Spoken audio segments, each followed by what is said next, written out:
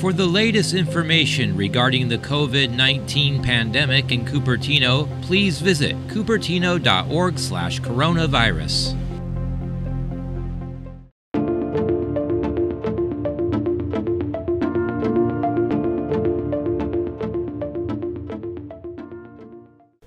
Welcome to WHO. This is an opportunity for you to ask the questions you want answered about the, the COVID, the disease caused by the new coronavirus that uh, has, has caused outbreaks in a number of different countries.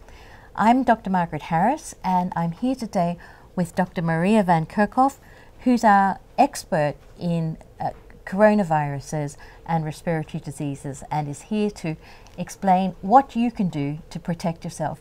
Over to you, Maria. So hi everybody, thanks thanks for having me. Um, yes, I'm with the World Health Organization and I'm the, the technical lead for this novel coronavirus outbreak called COVID-19, um, which I'm sure you've heard a lot about. So I'm going to ask Maria a few questions, but we also uh, offer you the uh, chance to ask your questions via Facebook and via Twitter. Um, on Facebook, I'll give you the way to ask your questions. You can do it via the comments section. And on Twitter, you can ask your questions by using the hashtag AskWHO. So, Maria, what can people do to protect themselves if, they, if, if they're in an area where there's uh, currently an outbreak of COVID? So thanks, Margaret, for this question. This is a really important question because there's many things that you can do as an individual to protect yourself and to protect your family against this novel coronavirus.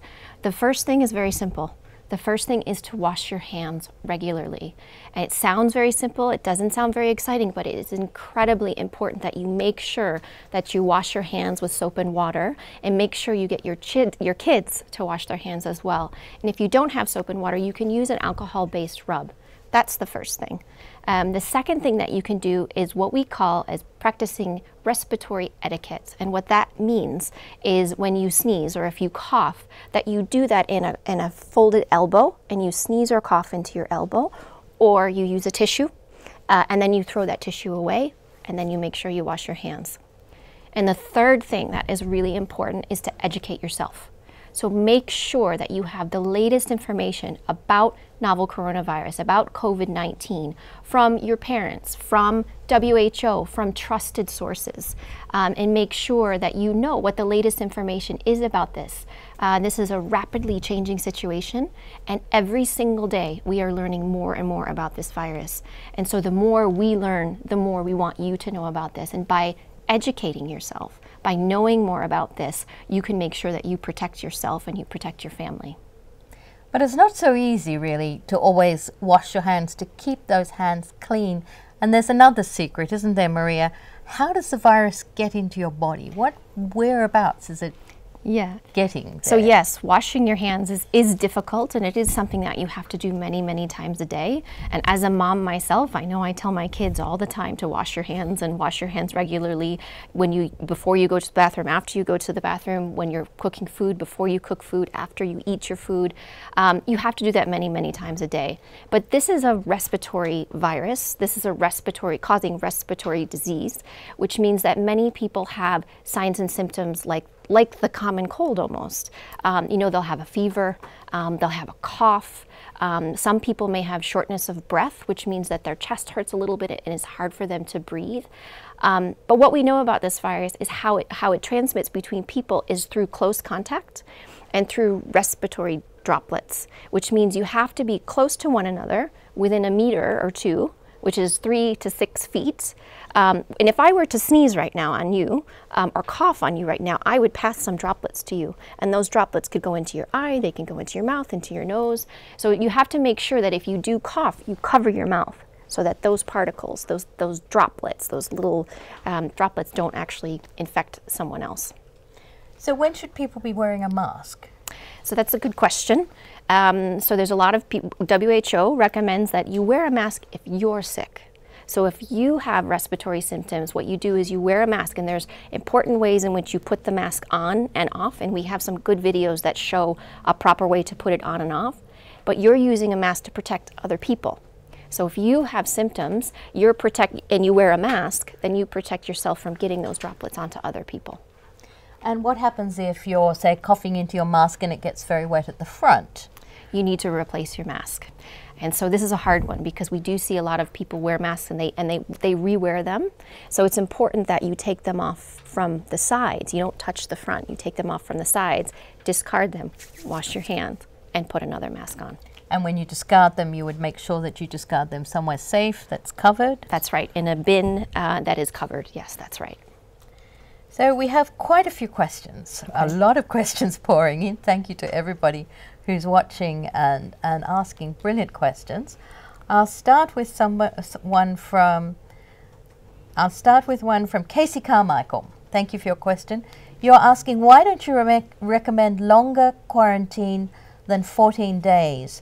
Is this because eh, be are there false negatives and outliers? Should we have a quarantine longer than 14 days? So thank you, Casey, for that question. Um, that's a good one. Um, what we recommend is for when you do contact tracing that you have to identify the cases, you identify their contacts and then you follow them for a certain number of days. And we, the important number of days has to do with what we call the incubation period, which is a big fancy word that basically means from the time that you are infected to the time that you develop symptoms. And 14 days is the upper end of the incubation period that we are, are following. Um, we believe that most people um, will be will will show symptoms um, after infection about five or six days after they are actually infected.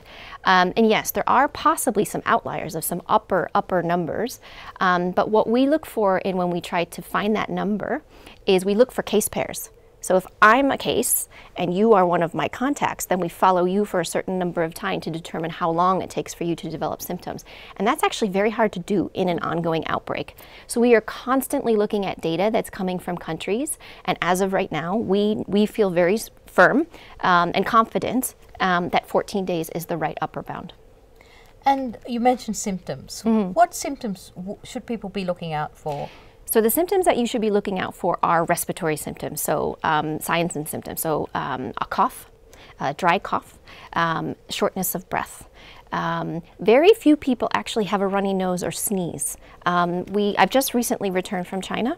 Um, I've just spent two weeks uh, in China working with incredible colleagues that are working very hard to really understand this outbreak. Um, and what they've learned from more than 70,000 cases in China is that very few people actually have runny nose or actually sneeze. Most people will have a fever. Most people will have a cough, um, and then there, some people will feel generally unwell. They'll have maybe some muscle pain, um, and what we do worry about is anyone that has shortness of breath or chest pain to make sure that they seek health care uh, very quickly. That's great. Now we have another interesting question from Andrew Maki, Orfin, Orfanidu, and I apologize if I've got your name incorrectly. Is there any chance we'll have tests available in a mass way so that people don't have to wait for hospital testing? I think you're referring to point of care tests that can be done very quickly. Yeah. So thank you, Andrew. That's a good question. Um, so right from the start of this outbreak, um, we've been working very hard. The whole global community has been working very hard to have tests available. And these are called PCR tests. These are molecular-based tests, which basically you take a swab, a, a, um, a sample from some of your upper respiratory passages in your nose and, and a little bit further down your throat um, to be able to quickly determine if you have COVID-19 or if you have something else. Um, very quickly, within, within a week of identifying this outbreak, this cluster of pneumonia in China, um, Chinese authorities shared a sequence and that's the RNA. That's the blueprints of what this virus is. And by doing so, they were able to help the entire world, including China, but other countries as well, develop these, these tests so that you can actually determine if someone is infected. It usually takes, it depends on where you are in the world, but it usually takes a matter of hours um, to maybe a day to get your results back. Um, and so in some situations, that's just too long. So uh, we're working very hard to make sure that we have what's called a point of care test or a bedside test so that you can have a really rapid, within minutes, um, test result. We're not quite there yet, uh, but there are a lot of uh, virologists and laboratorians who are working hard to make sure that those tests are done quicker. Thank you. That's, that's really good news. Uh, Darren Tay wants to know if COVID 19 is, is airborne. Ah, so Darren. So thank you, Darren, uh, for that question. So um, no, uh, COVID-19 is not airborne. Uh, COVID-19 uh, transmits via droplets, and what we mean are these small little particles of uh, moisture, liquid, um, and these these particles, when they come out of your mouth, they drop, and so that's why we say between one and two meters. Anything beyond that, and they don't they don't um, disperse. Um, so no, it's not airborne. Um, but the one thing I should say is that in healthcare facilities, what we tell our healthcare workers, and I just want to say how grateful we are to all of the healthcare workers who are working to mm. treat patients, particularly in China, but not just in China. Um, we know you're on the front lines, um, and, and we're very grateful for all of the hard work that you are doing. Um, we do tell healthcare workers that when they are treating patients, sometimes they have to do procedures um, on sick, very sick patients where they have to intubate them. And sometimes you have particles that could be dispersed much further than mm-hmm. just that one to two meters. And so in those situations, we tell healthcare workers, you have to use airborne precautions. And so there may be some confusion out there when we say airborne precautions. Mm. Those are for healthcare workers performing very specific procedures, but for every day, no. That's great. Um, the next question is Is there any association between the flu and between um, this this COVID virus? So that's a very good question too. I get that question quite quite a lot. So COVID nineteen is not influenza. It is, the, it is a respiratory virus, and so it's very difficult to determine in the early stages of illness of whether or not you have flu, or if you have COVID 19, or if you have another respiratory pathogen that, that's circulating around. But it is not flu. And, and the reason we know this is because we know it transmits a little bit differently in terms of you know, who is most affected, who, who has a higher risk of being infected.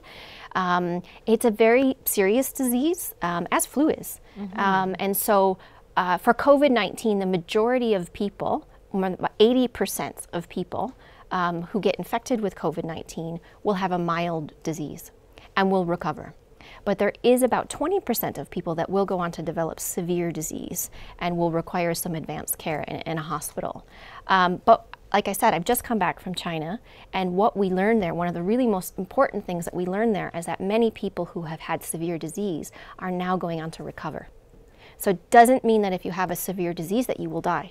It means that you will get the right care in, in a healthcare facility um, and, and, you have a, a good chance of survival. So that is very good news. And would you say that people who get severe disease start with what looks like a mild disease but become ill? So getting to care early will help them. Yes, and we do know, yes, so you, when you begin, uh, when you are infected, you do start out with a mild disease. What we look for are what we call risk factors um, for severe disease. And what that means is like, are there certain individuals that have maybe some underlying medical conditions or who are maybe of older age that have a higher risk of developing severe disease? And we know that people who are over 60, um, people who have underlying disease like cardiovascular disease or an underlying respiratory, a chronic respiratory disease, diabetes, they have a higher risk of, of having a severe disease. Okay, we've got another question that I have certainly seen come up in all sorts of places from Casey Carmichael, who asks Can virus particles survive inside uh, packages? Um, so that's a very good question. Um, we've seen that a lot, and we actually have that on our MythBusters, um, which is on our website, um, which is trying to address some questions that many people many people have. Um, so there are some studies that are ongoing right now that look at virus survival. And so what that means is how long can a virus, can you actually detect a live virus on a surface mm-hmm. and for how long? And so these are some preliminary preliminary studies. We don't have the full um, results yet, uh, but what we know from other coronaviruses like SARS and like MERS is that on packages, on certain like cardboard materials, mm-hmm. that it doesn't last very long. Um, and so uh, no, so you won't it won't stay viable. It won't be alive. The virus won't be alive for a very long period of time. What is important, though, on certain other surfaces like plastic or um, like in healthcare facilities, that the virus can be inactivated or killed, if you will, by disinfectants. And so um, as I'm sure everyone has seen, you know, when you clean your, your house, you clean in, in healthcare facilities, it will inactivate the virus. And you're talking about any kind of disinfectant? Normally, ones with bleach. Okay. So, in our guidance materials, we have some details on what that actually means how many parts bleach versus how many parts water. But yes, and some, some um, uh, bleach would be good. So, if you want to know more about disinfectants and disinfecting your surfaces, go to the WHO site, go in and look at the guidance. Uh, You'll find it under coronavirus and you'll find all that information there. Now, Sarah Lubitsch asks How can individuals find out if there are cases near them? Ah, so Sarah, that's an interesting question. Um, so there, I've seen. Uh, I don't know the actually know a good answer to that. What I what I can say is that I have seen um, in some countries they use a lot of um, data, big data, and they have ways in which um, you can see on a map if there are cases nearby you. Um, I haven't seen that here in Switzerland, um, where we're based, uh, but I have seen that in some other countries. But I think if you're concerned, like I said, educate yourself about what is happening around you. Watch the news, talk to your parents, talk to talk to loved ones, um, talk to your healthcare provider. You know, if you have some concerns, make sure that you address those concerns and you get some good answers. And you know, there's a lot of good information online, but there's also a lot of bad information online. So make sure you check the WHO website, um, and you can see we have uh, situation reports that we put up every single day, and so you can see the latest information that we have. And correct me if I'm wrong, but even if you have, say, somebody in the next house who's ill with coronavirus, if you're doing all the sensible things to protect yourself, if you're washing your hands, cleaning your surfaces, you're going to be all right, yeah? Yeah, that's right. That's right. It's not in the air, you know, circulating around like that. And I think if I could just take this opportunity to say, you know, uh, in the in the last few weeks, what I've seen um, in China is this overwhelming um, involvement of the community. Everyone is involved in this fight against coronavirus. Um, and that is really powerful. So I want everyone watching this to know that you can do something about this. What we mentioned in the beginning of washing your hands, sneezing into your elbow, educating yourself, you can take control. You know, and, and make sure that you protect yourself and you protect your families. And everyone in China is is really working towards fighting this disease, and, and that is really a wonderful thing. Oh, there's another interesting question here from Nur- Nuriyati Agus. If we've already got influenza vaccination, will that protect us from coronavirus? Mm, that's a good question. Um, so, unfortunately, an influenza virus will not protect you against COVID 19, but an influenza virus will protect you against influenza. So, that is, that is very important. Um, there are vaccines that are in development right now uh, for COVID 19 and for coronaviruses. Um, and these coronavirus vaccines have been in develop- development actually for many years, um, starting with SARS which is severe acute respiratory uh, uh, coronavirus, and MERS, which is Middle East Respiratory Syndrome coronavirus. Now, what scientists are doing is that they, they're taking um, the work that they've done for those pathogens and trying to use that to build uh, vaccines for COVID 19. So they're in development, they're not ready yet, um, but we are working very hard with many partners to try to push that and make that happen a lot quicker. And so then we have another interesting question about um, treatment um, from Louise Vaughan Harris. She asks If a person contracts COVID 19 and then it goes to pneumonia, will they be treated with antibiotics or will it be treated differently because it's a viral pneumonia? So that's a good question. So, um, so as I mentioned, the majority of a majority of people who are infected with COVID 19 will have a mild disease, which may actually include a mild form of pneumonia. Um, and so, normally, the, you're treated based on your symptoms um, coming in. Antibiotics will not work against COVID 19 because that's a virus, but I know that you could have a co infection with a bacteria.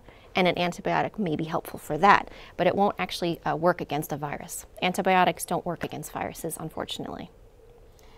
So um, we've got another question which is interesting. Um, it's a little bit about testing, and you've explained, but Carolina Gomez wants to know what's the procedure for detecting whether somebody's got coronavirus? What what do we need to know?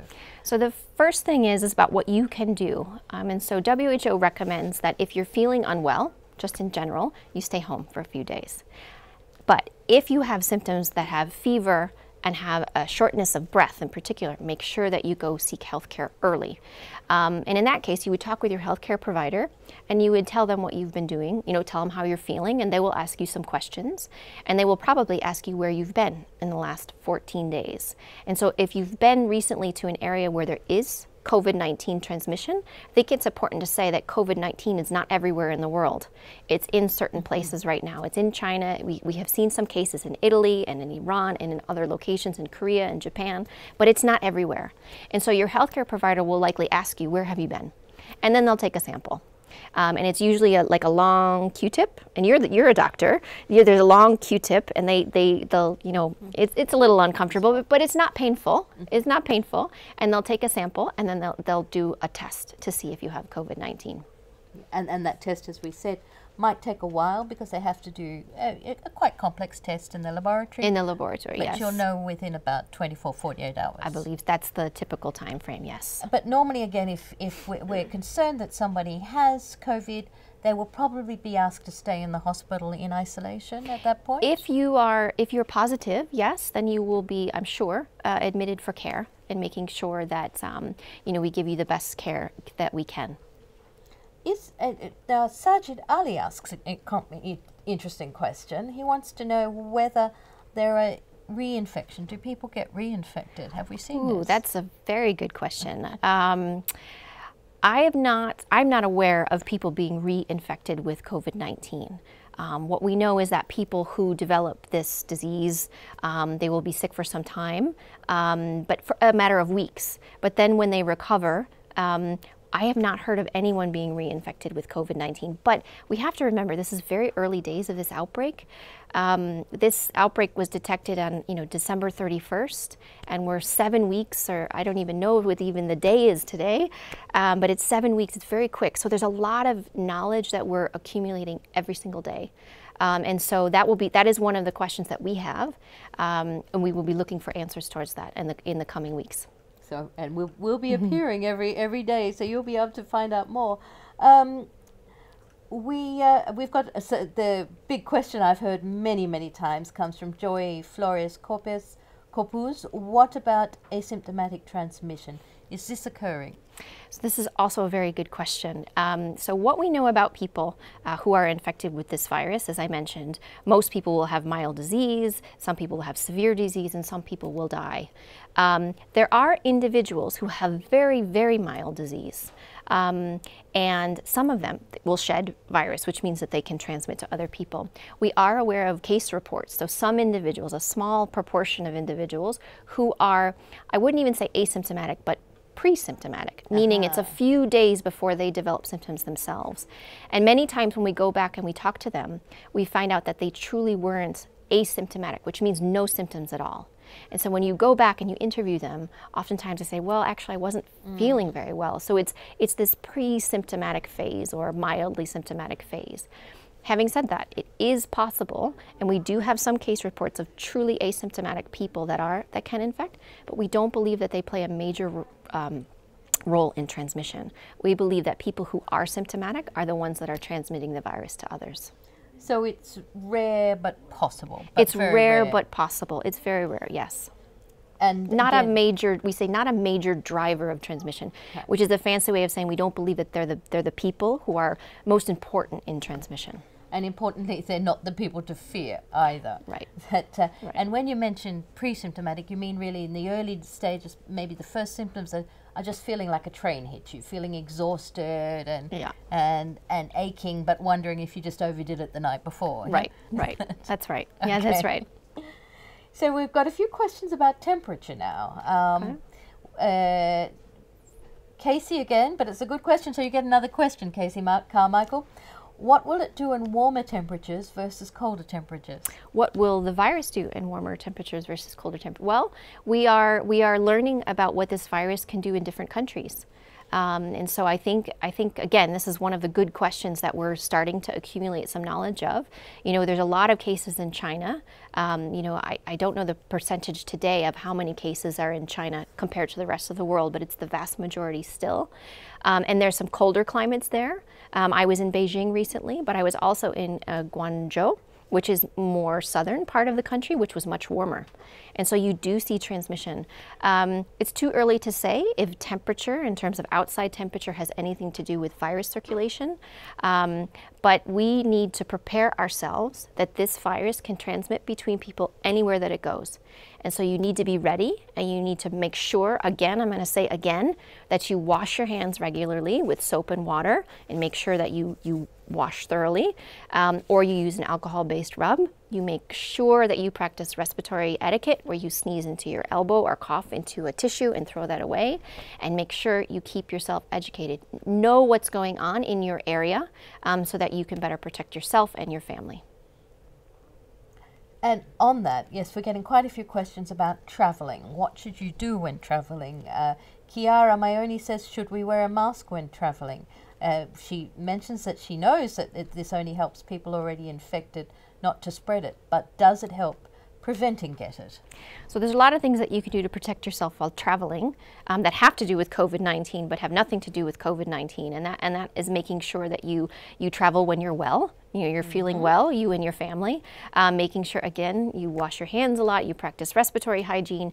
Making sure that when you eat food, you know you're eating cooked food, or that you wash food, uh, making sure that it, it's washed before you consume them. Um, we recommend wearing a mask when you yourself are ill. And so just wearing a mask in general, um, no, but making sure that if you're having symptoms, respiratory symptoms, that you wear a mask. And we have another interesting question from Kia from Ethiopia. How many uh, uh, what's the rate of infection in children? Are many children infected? So, hi Kia, that's a that's a great question, um, and one of the big concerns of many that we have about COVID 19. Um, there was a really big uh, report that came out of China, um, I think it was last week, where it was looking at 55,000 cases mm-hmm. um, that had occurred in China, and very few were among children. Um, I think it was 2% of those infected were among children. Um, and that's a very low number. Um, and that's important um, to know because in flu, for example, children are really important in transmitting this virus. But in COVID 19, they don't seem to be. Mm-hmm. We don't know why yet. And so that's a big point of, of research um, and to help with our understanding of what that actually means. But even the children who are infected, many of them will have mild disease. Okay, well, that's reassuring. Yeah. Uh, another question that we've certainly had before, and I know we've got on our Mythbuster site, but it's an important one. Can it be passed on from pets and also from chickens? Marilyn Drysdale uh, asks. So I'm not aware of any evidence that this virus transmits between pets and people, um, and and people are looking, and so there's a lot of investigations that are that are on, underway. Um, they have not found this virus in an animal yet, uh, in the zoonotic source of what we mm-hmm. what we mm-hmm. believe initially that this outbreak began with people who were in contact with wild animals, not yes. pets. Um, but we have no evidence of this virus in pets, and no evidence of this virus transmitting between pets and people. And what about chickens? I oh, or chi- chickens are pets too, of course. Chickens are pets too, or chickens. or so chickens, yes, yeah. yes. Okay. A lot of people are asking about treatments. Have we got any treatments? We know we're doing a lot of studies, but mm. have we seen any medicines that seem to be um, helping people recover more quickly? So, as you just mentioned, there's a lot of studies that are underway. And so, when we have an outbreak like this, um, it's really important that these studies are done the right way and we call these clinical trials. And they have to be done in a way that we, we look at the appropriate use of that treatment compared to some others. And we don't have results from those yet. But in China, there's more than 100 clinical trials that are ongoing. Some are using Western medicine and some are using traditional Chinese medicine. So we were just in China and we were asking about these questions. Um, and so we know of a number of questions that are being investigated in patients with patient consent, of course. Um, but we don't have results of those yet. So hopefully very soon we will have some results that we can share. Uh, here's an interesting question from Praveen Ganapathy. What about swimming pools? What would be the best? Oh, uh, Praveen asks two questions, but we've already talked about bleach based cleaning agents. Mm. Praveen asks about that, but she also asks, what about using swimming pools? Well, that's a very interesting question. Um, I think you can use swimming pools just, just fine. Many swimming pools have chlorine in them, um, and we haven't heard of any transmission happening uh, in uh, swimming pools um, that I'm aware of, and, and that's a good question. but I'm not aware of any transmission happening uh, with relation to swimming pools. And and it is happening in places where there would be swimming pools. Right? Yes, Yeah. yes, of course, of course. So, the, a lot of these types of questions, these are really good questions that you're asking. So, thank you for sending them in. Um, we try to get answers to those through what we call epidemiologic studies. And what we look at is we go, we talk to patient, we talk to people who are infected and people who are not infected, and we say, "What did you do?" And ask the same questions to the people who are not infected. And through those types of investigations, we learn what are called risk factors for infection. Right. And so, what we look for are, are travel history, um, what type of jobs you may have, uh, what types of exposures you may have had in the 14 days before you got sick. So, um, those are the types of risk factors that we would look for, but swimming pools are, are, are not one of them. Okay. And in fact, it's probably good to ask what are the risk factors you're finding? Anything So we specific? no, not yet. So what we what we're looking at right now, um, the risk factors for for severe disease we know are these underlying medical conditions that I mentioned earlier. So the cardiovascular disease, diabetes, um, underlying chronic respiratory diseases, older age. Um, those those put you at risk uh, for developing severe disease. And now we've got an interesting one from Khaled El Hatib. Should we stop our kids from going to school? Oh, so that, that's a very good question. And, and as a mom of two myself, I can understand where that question is coming from. Um, so it depends on where you live. Um, right now, a lot of the schools in China are closed right now after the holidays, after the, the Chinese New Year and the Spring Festival. Um, and some of those schools are, are going to be opening again soon. And here, where we, you know, where we don't have transmission, it's perfectly safe to send your children to school. And uh, here's another here's another question. I'm not quite sure who it's from. I'm sorry, but it's what action should we take if a work colleague has a fever and is coughing, but refuses to seek medical attention and continues working? Well, the first thing to do is talk to your colleague and, and just ask them how they're doing. Have a conversation. You know, I, just because you have a fever and a cough doesn't mean that you're infected with COVID 19. Um, that's really important. It's also flu season. You know, so there's a lot of people around who have the sniffles, who have a cough, who have a fever. Talk to your colleague. You know, find out uh, how you can help them. Um, what's important is that they seek medical care, especially if they have uh, chest pain, if they have difficulty breathing. Um, and then the doctor will ask them, "What you know? Where have you been in the last 14 days?" And that's what you that's what that will trigger maybe or not they get a test for this COVID-19. And at this time, do you think people should be having conversations with their employers about if if the an outbreak occurs, where they are, can they work from home? What are there are there other ways in which they can work while not necessarily being in the office? Yeah, that's a good idea. I mean, just having conversations with with your families, uh, you know, express your concerns, talk to your employers, and just see see what your plans are. Um, it's very important, and we we talk to uh, to to all everyone in the world about getting ready. Um, you know, what would you need to do um, if this virus were to show up? You know, how can you make sure that you uh, continue to be able to work? Uh, and there's a lot of ways in which you can work from home if that's possible with your with your type of job. But talk to your talk to your families. Um, express your concerns. Don't hide them in, um, because there's a lot of good information that is out there um, that can help educate you on you know what it- this is, and even more importantly, what it isn't. Exactly. Yeah. And on that, again, a lot of people have young children, so we're seeing quite a lot of school closures, and people then have to stay home because they have to look after their children. So, again, this is something you would recommend discuss with your employers now. What are you going to do? Yeah. Yes, I, this is a conversation uh, that needs to continue to happen. As I mentioned earlier, this situation, this outbreak is evolving very quickly. Uh, we're learning all the time new things about this. Please come back to the WHO website and look at what we have posted. There's new postings every day, um, whether there are situation reports, which gives you an overview of the latest cases and what WHO is doing. Um, there are mythbusters. There are videos that can help you teach you about, you know, like I said, how to wash your hands, how to make sure you wear masks appropriately, and, and many other things. But please do continually, you know, read about this and look at the websites and, and make sure you have the latest information at hand. Now, at Diagonals wants to know the question that many want to understand is how can you tell the difference between just a common cold or or and, and the coronavirus? So in the early stages, you can't. You know, in the early stages, it's very difficult. Um, but what we say is, if you're in an area where this virus is circulating, um, you know, it's important to either call your medical facility if you're just feeling generally unwell. But as I mentioned, if you do advance to having um, shortness of breath, make sure that you seek health care immediately and say what you've done, say where you've traveled. And then the only way to distinguish is through, is through a test. Yeah. I just want to say I can't believe if people are watching us from all around the world. We've got people from Angola, UK, Vietnam, Peru, Indonesia. Uh, the list is so long. I'm I, I, it's wonderful. I'm so glad and excited, but that's what we're here for to share information and to answer your questions. Uh, and I've got another interesting question: Can it spread through drinking water? Uh, not that I'm aware of. No, I, it cannot. It cannot spread through drinking water. Um, as it spreads, it spreads through through close contact and through droplet, as I mentioned earlier, um, but not through drinking water. No. And it's a repeat of an earlier question, but I think there's clearly a lot of concern because I've seen a lot of questions about touching surfaces. People are worried about touching paper, plastic, and cardboard surfaces. And this this viewer asks do you recommend wearing gloves? So if you, you touch many surfaces all the time, all day, and so what is important is that you are able to do that, but that you make sure you wash your hands.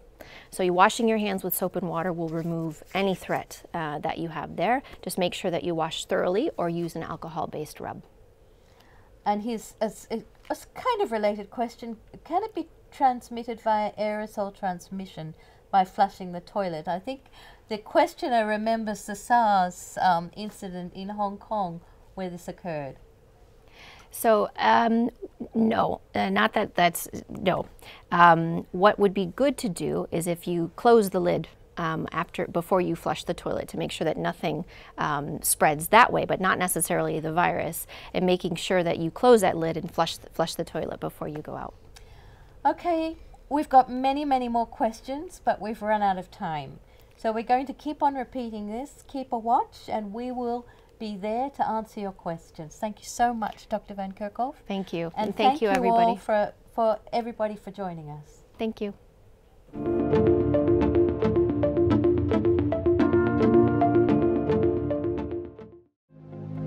For the latest information regarding the COVID 19 pandemic in Cupertino, please visit cupertino.org/coronavirus.